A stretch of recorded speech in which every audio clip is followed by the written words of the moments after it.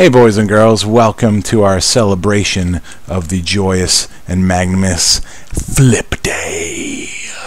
Remember, since it is a video and maybe things go by a little too quickly, unlike real life, another thing that's better about the flip class lecture is you can pause it, you can rewind it, you can play it again and again, and it's always there anytime. You can even watch it the day before the test.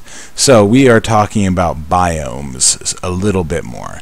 And the biome, being a just ridiculously large ecosystem, is made out of our two factors. We have our biotic factors, which are the living factors, and the abiotic factors. Now, most of the time when people think about biomes, they're thinking about the biotic factors. They're focused on what lives there, what sorts of cute animals there would be, are there fun plants, stuff like that. But what they don't usually realize is that the abiotic factors are really the most important part of any environment.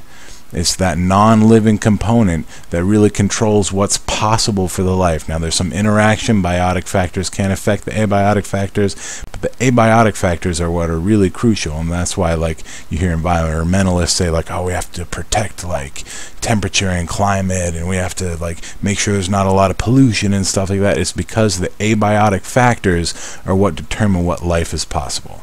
So here's a map of the world, and it is showing you the different biomes that are possible.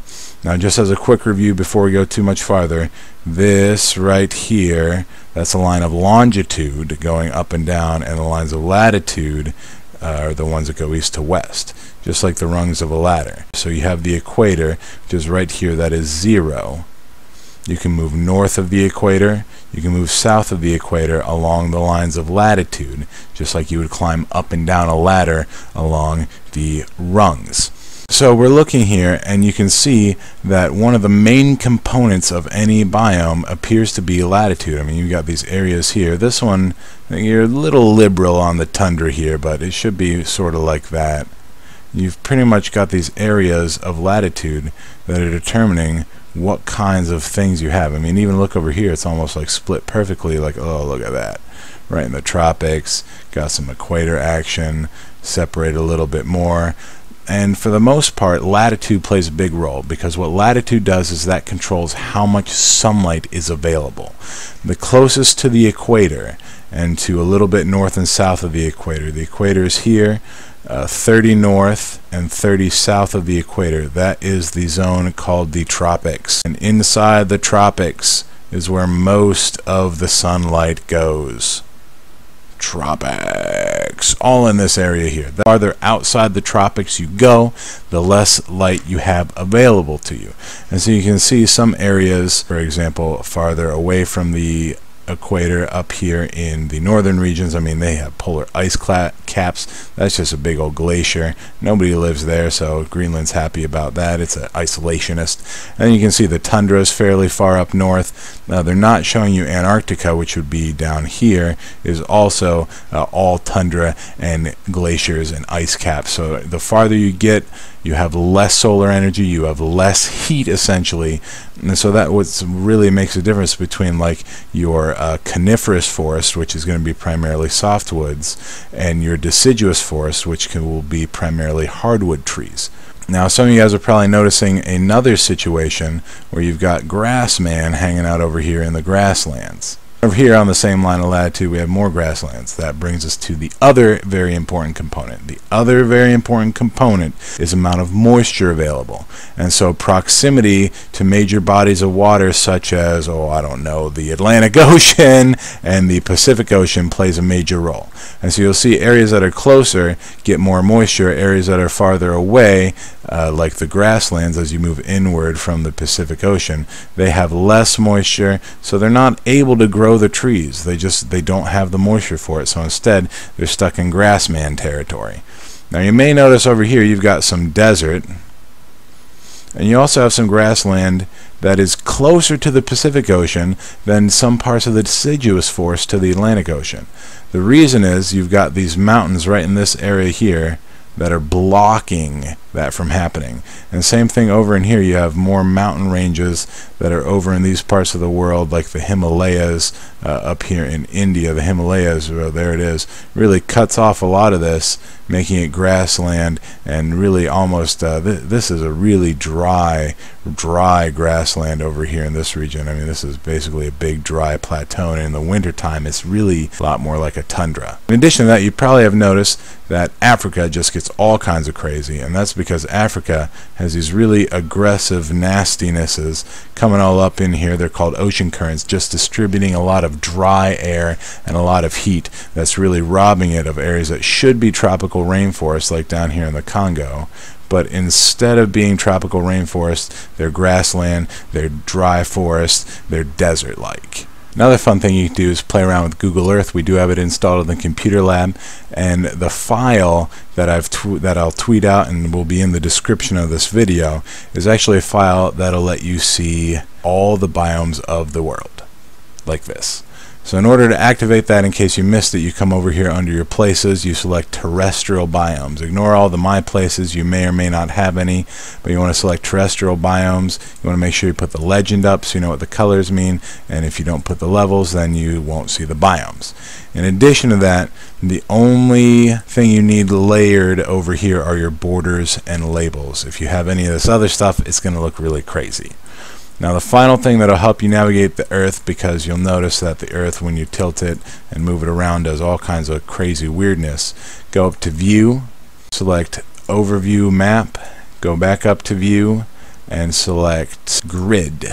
And that's going to give you your lines of longitude and latitude. It's even going to label the tropics and the equator for you so you can see when you move around the globe you can see all the really really warm type ecosystems are all in the tropics and all the colder ecosystems are up here in the northern part really far away from the tropics. The farther you get up here the farther you get down here just the worse off it is. So go ahead and play around with this. There'll be some questions to answer. And if you're going through and you're moving the earth and you're like oh no it's sideways if you hit the N key N for north just go ahead and hit it on the keyboard. It will actually go ahead and uh, you know the Earth look not quite so crappy. So one of the things you do want to use Google Earth for is use it to find longitude and latitude. You'll notice that if I just hover my mouse over right here down in the corner you can actually see the longitude and latitude just above the earth. Now that's really useful because what I want to have happen is I want to sort all the biomes out in the hallway, all our posters and everything. I want to sort those biomes in order of increasing distance from the equator. So I want 0 to be the ones closest to the equator, and then the ones farther down the hall will be the ones farther from the equator. And we're going to see something uh, kind of fun when we do that. Now, the final part of making anything about a biome and thinking about climate is we have these things called climatograms, which really do a good job of showing you uh, the two main abiotic factors that matter. They show you the amount of solar energy, the temperature, and they also show you the amount of moisture, that's the rainfall. So this is what we would call a climatogram. So they all look a little different. Even though they're all technically for savanna, grassland biomes, you'll see you've got a lot of variation depending on what type of grassland we're actually looking at. Now you notice all the climatograms all have the same pattern. We'll look at this one here for Bara. Got on the left side they've got the temperature in degrees Celsius and on the right side we've got rainfall in millimeters. Uh, you want to keep it nice and clean and metric and they've actually they have the colors switched because the uh, the bars always show the precipitation, which should be blue, and then the line shows the temperature, which should be red. So if we look up at the San Fernando, you can actually see a nice interplay. You've got pretty much even rain, which is a very common feature of all the grasslands. They're not usually very wet. And you see the temperature almost goes like ours, colder in January, colder in December, warmer in the middle of the month. And again, your axes showing you uh, temperature on this side and showing you rainfall over here on this side. And so what I'm going to have you guys do is I'm going to have you make these. Luckily, we pretty much know the locations. If you forget, Google Earth it up.